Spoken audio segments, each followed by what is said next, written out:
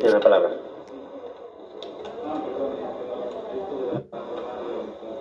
No, vale, muy bien. Eh, buenos días. En primer lugar, agradecerle a la comisión eh, la invitación y muy especialmente al partido Vox, eh, porque son los únicos que han contado con la sociedad civil y congratularme, congratularme por eso y mostrarle mi mayor decepción por el escaso interés que veo que tiene la opinión de la sociedad civil ante nuestros parlamentarios.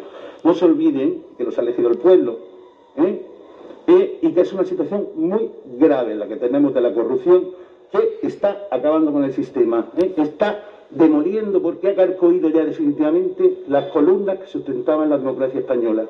¿eh? Y ahí tienen ustedes la columna ¿eh? que la están sujetando. Y hay que ponerse las pilas. Europa, decido ya hace tiempo, soy presidente de una asociación anticorrupción y denunciante particular de Operación Poniente que se está celebrando ahora. Tema de Abengoa. ¿Vale? Eh, soy presidente de ASAPRE, eh, de prestamistas anticorrupción y presidente de la Asociación de Víctimas de la Justicia, porque todos, todos eh, los poderes del Estado tienen víctimas por el tema de la corrupción. Hay parlamentarios honestos y justos, hay jueces honestos y justos, y entre todos, y hay periodistas honestos y justos. Y entre todos, nosotros como sociedad civil lo hemos puesto encima de la mesa el tema. Señores, porque es una auténtica pandemia, pandemia. Y hay que coronarla ya de una vez y en definitiva. Y es a ustedes a los que les corresponde, señorías, legislar y legislar desde el corazón. ¿eh? Y legislar para el pueblo. Y legislar para las necesidades del pueblo.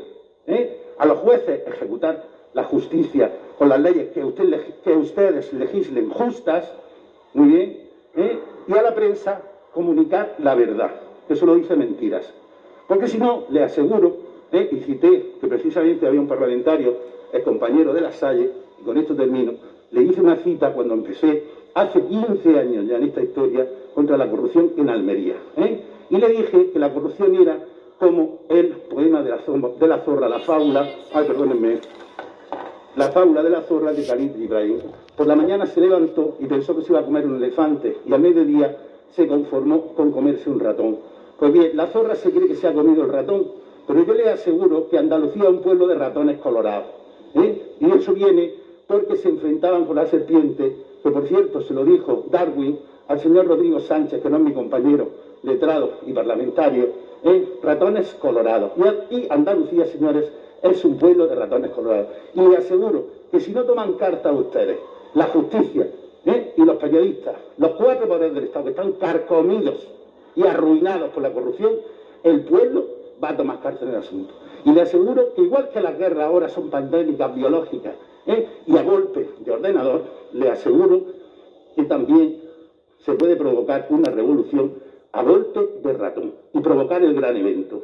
Y ese a golpe de ratón ¿eh? puede tener consecuencias insospechables. Bien, así que cada uno a su trabajo. Y volvamos, señores, al espíritu de la Constitución al espíritu de las leyes. ¿eh? Que el pueblo ha tenido que tomar cartas en el asunto, porque su poder emana del pueblo y el de la justicia también. Y el de la justicia también.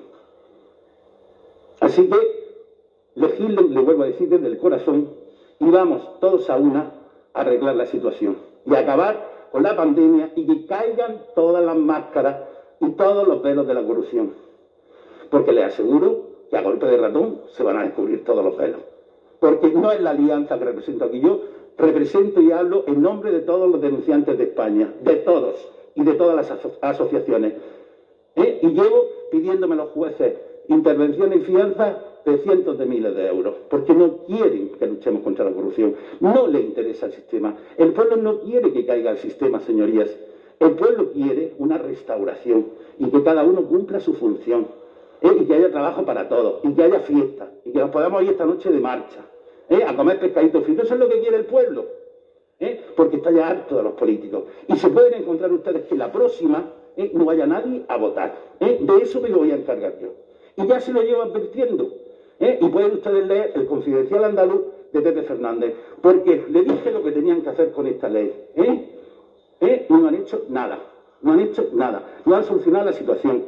Un señor que es aquel que he defendido, ¿eh? en esta provincia de Sevilla, Señor- ilustre, señor Sánchez, ilustre, termino, termino, termino, señoría, se ha visto conde- lo han visto condenado a dos años por sacar que un sindicato, otra institución carcomida por la corrupción, ¿eh? un sindicato, ¿eh? El señor utilizaba la tarjeta y a este señor lo condenan a dos años de cárcel. Ese es el sistema que tenemos. Pongan ustedes de su parte, porque si no el pueblo se lo, va a demandar. Muchas gracias. Muchas gracias, señor